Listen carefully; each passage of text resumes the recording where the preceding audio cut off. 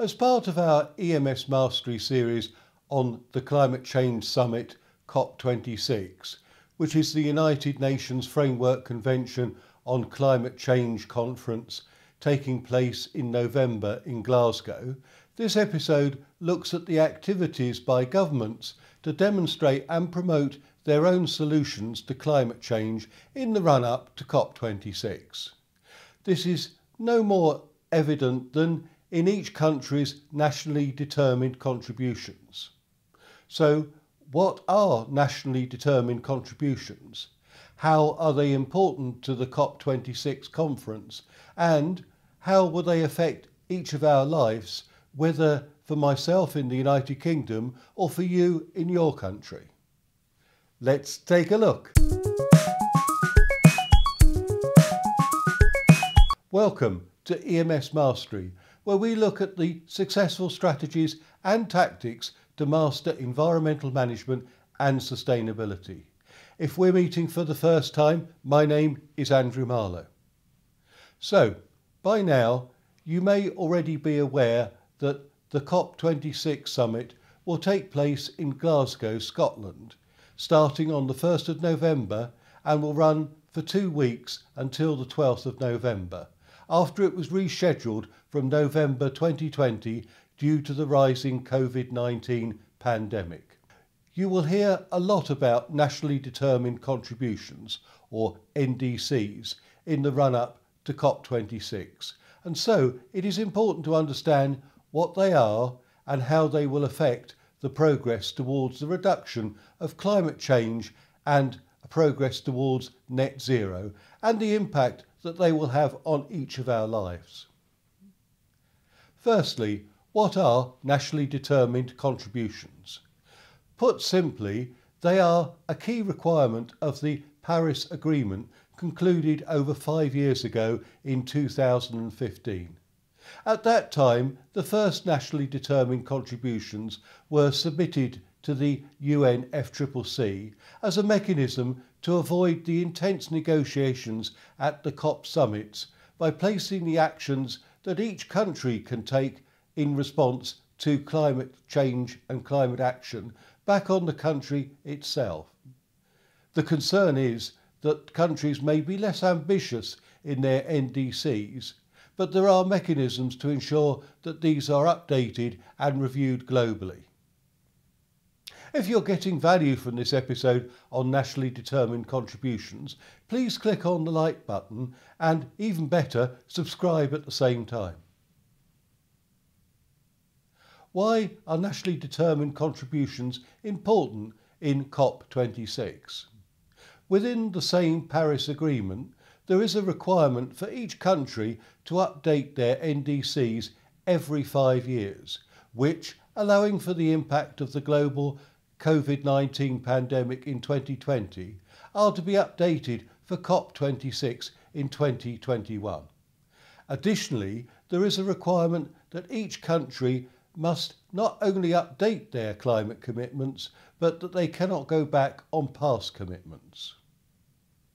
Here, two examples of nationally determined contribution submissions can be highlighted with the United Kingdom submitting a revision of its first NDC that was submitted on the 17th of November 2016 and an updated submission on the 11th of December 2020. And the United States, whose first NDC was submitted on the 2nd of September 2016 and their most recent submission made on the 21st of April 2021 as part of the United States rejoining the Paris Agreement. All NDCs submitted to the UNFCCC can be accessed at the NDC Registry website.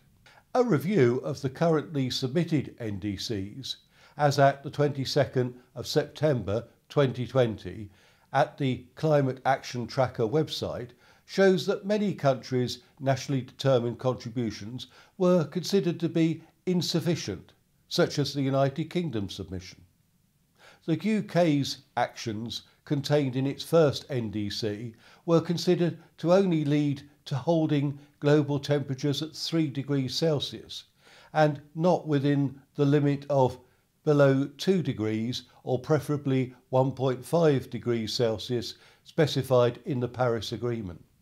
Indeed, according to the Climate Action Tracker website, very few countries' nationally determined contributions meet the Paris Agreement targets of less than 1.5 degrees or even the well below 2 degrees target.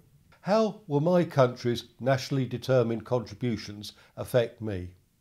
There are many insights into the current and future actions that can be gained from the nationally determined contributions for your country and even an opportunity to compare NDCs between countries as the format is standardised for all nationally determined contributions. The structure of the NDC follows seven sections covering quantifiable information on the reference point, time frame, scope and coverage, planning processes, assumptions and methodological approaches including those for estimating and accounting for human based greenhouse gas emissions and, as appropriate, removals. How the party considers that its NDC is fair and ambitious in the light of its national circumstances. And finally, how the nationally determined contribution contributes towards the achievement of the objective of the Convention as set out in its Article 2.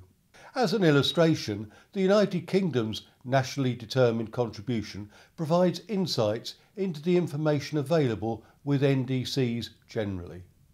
The first section, entitled Quantifiable Information on the Reference Point, sets out the basic framework for the NDC covering the reference year, targets, data sources and updating on actions.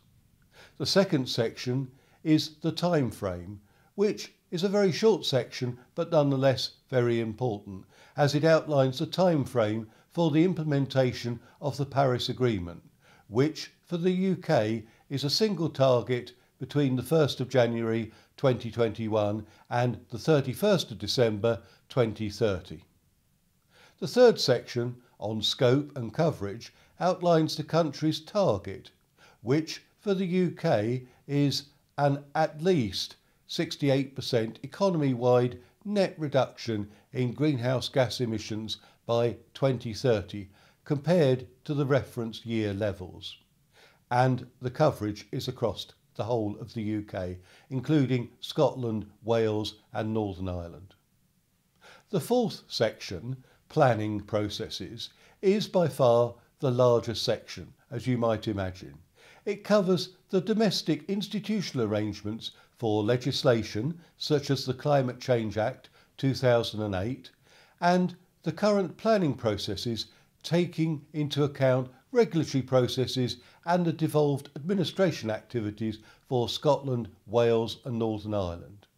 Additionally, it covers the national circumstances and context to the delivery of climate change, such as sustainable development and poverty eradication, food security and policy, ocean and marine environment, and education and skills.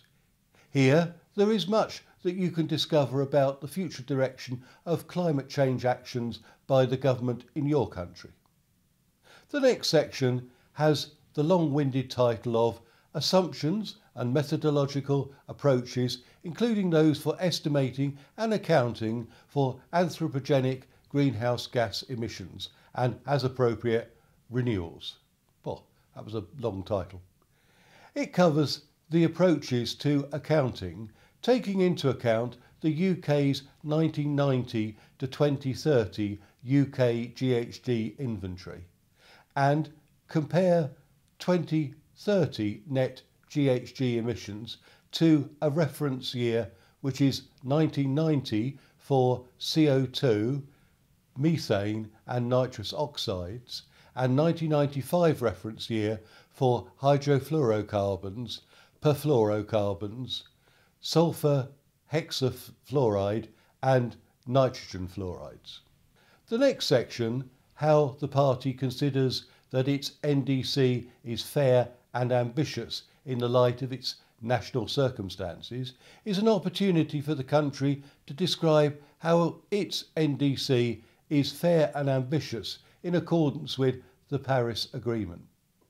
It mentions the reductions of emissions by at least 68% on the reference year levels 1990 or 1995 that we discussed in the previous section, which was the earlier UK target, partly overtaken by a new commitment to achieve 78% by 2035, with the earlier target resulting in UK emissions per person falling from around 14 tonnes of CO2 equivalent in 1990 to fewer than 4 tonnes of CO2 equivalent in 2030.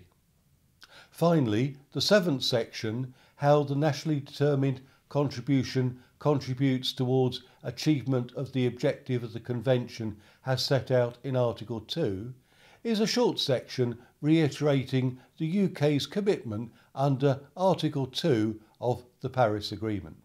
So, to summarise, I hope that this episode has given you a clear understanding of what is a nationally determined contribution, the importance of the national determined contributions to the Global Summit COP26 in November 2021, and to you as a citizen of your country, and how your government will meet its climate change commitments under the Paris Agreement. In the run up to the COP26 summit, I will aim to provide other episodes to help in understanding climate change and the actions that you can take both as your role as an environmental manager or consultant or as a concerned citizen or individual. If you want to find out more about what is the COP26 and other events in and around the conference, you can click on the link here. If this episode has helped to advance your understanding of nationally determined contributions, please leave a comment in the box below if this video has helped you. Further information on all nationally determined contributions and references to documents mentioned in this episode are given in the description box below, including a link to the resources on the emsmastery.com website. Please subscribe to this YouTube channel and hit the bell icon to ensure that you don't miss out on other episodes on environmental management and sustainability. Until then, thank you for listening. If you enjoyed this video, you can watch other episodes by clicking on the boxes in the top and bottom right, and to subscribe to this channel, click on the link to the left. Thank you.